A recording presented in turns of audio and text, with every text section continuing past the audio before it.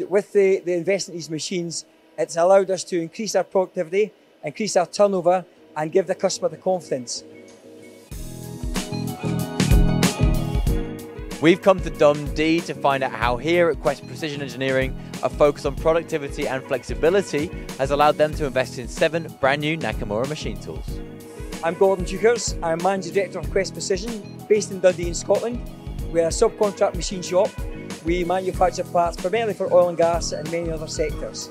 We work on turnkey projects for customers. We do a lot of research and development, taking customers' uh, uh, designs to hopefully another level, taking them into production and out to the oil fields. We started to work with a customer uh, about six or eight years ago. So the project is these uh, valves, AICT valves, and uh, we manufacture these in six operations and we're looking to get the, the cycle time down and to get the, the cost down for the customer.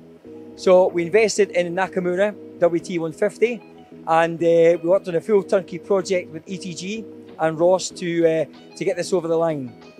After uh, the, the first three months of having this machine, we reduced the cycle time by about 300% and um, the, the product itself was coming off faster, more efficiently and the repeatability was first class.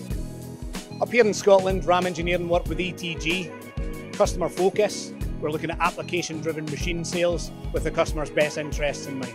I've known Gordon Deuchars for a long, long time now, 20 odd years. We've done a lot of applications together, together on the tooling front. Now we're working together on the machine front. Since 2019 to now, it's looking good. So now we're focused on flexibility. We have the machine here with the swiveling B axis. We've got the opposed spindles. We've got the lower turret. We've also got the uh, gantry loader and the bar feed. Proper step change here. So Nakamura 1 led to Nakamura 2 within three months.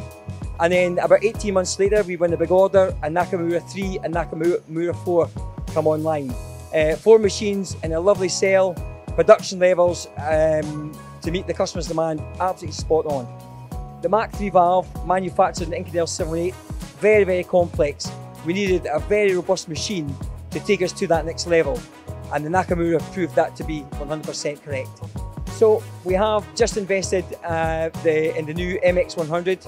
Um, this is a, a multi-axis machine where we have the uh, 72 tools on the B-axis and the next uh, level of valve is the Mach 4 which is angled holes that we can't produce on the other two machines. So by investing this machine, again, we're hoping that we will develop this with the customer, get this uh, R&D work uh, put to bed, and then we'll start going to production. The machine itself, we have uh, invested in a gantry loader. We have a bar feed on the machine. We have a bottom turret with the Y-axis, and we have 72 tools driven, which should allow us to do this component in one operation again. The relationship with ourselves and ETG has been first class. From the moment we inquired about the first machine, they've been there to support us um, on every turnkey project we've done. They've helped us with support with the tooling, with the right machine, and at the right time. The Nakamuras are not just about this project. The Nakamuras offer us the flexibility, the efficiency and the reliability, which is exactly what we need in the subcontract field.